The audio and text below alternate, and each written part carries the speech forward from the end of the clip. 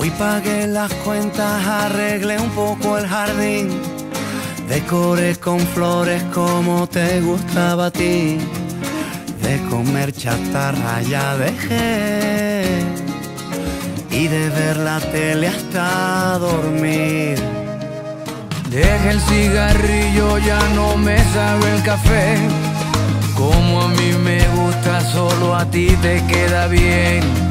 Ya la bicicleta la arreglé y por ti empecé a estudiar francés.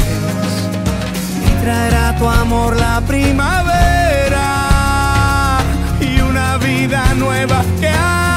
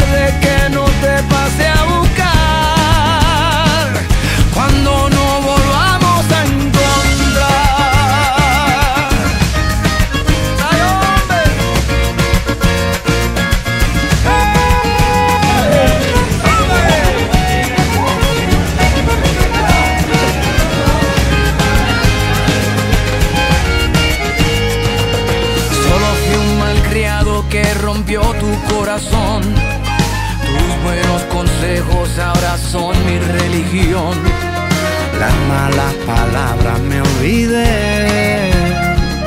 ¿Cómo voy a yoga? Ya no tengo estrés. Y traerá tu amor la primavera y una vida nueva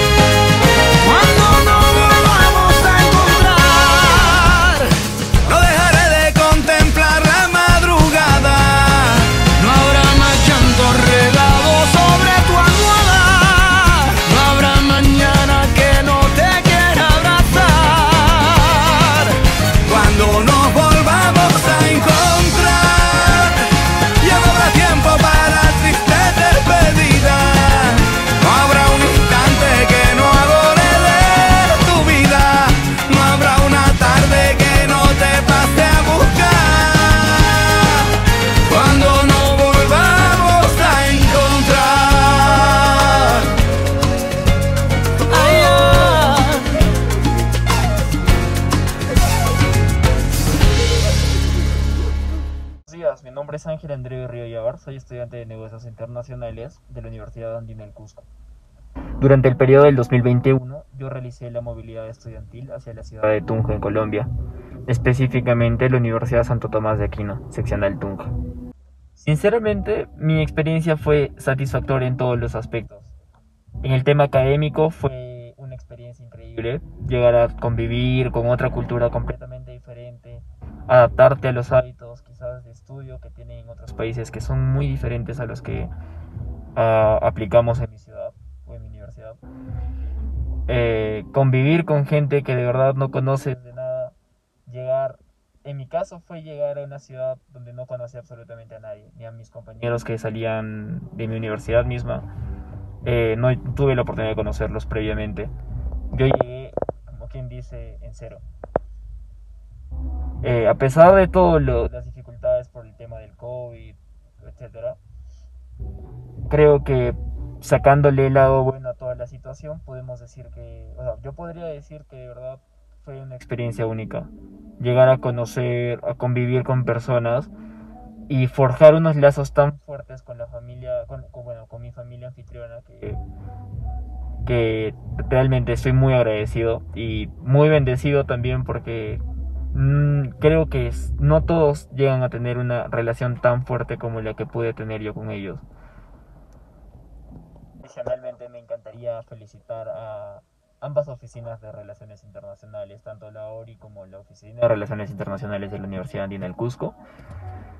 Ambas oficinas hacen un trabajo excepcional en cuanto a la preocupación por el estudiante, en cuanto al seguimiento que nos dan y bueno, al brindarnos un apoyo no solo quizás económico como universidad, un respaldo, ¿no? Quizás también fue un apoyo más moral más de más íntimo de decirnos, oye, ¿cómo estás? Espero que estés bien, que cuídense mucho y temas así.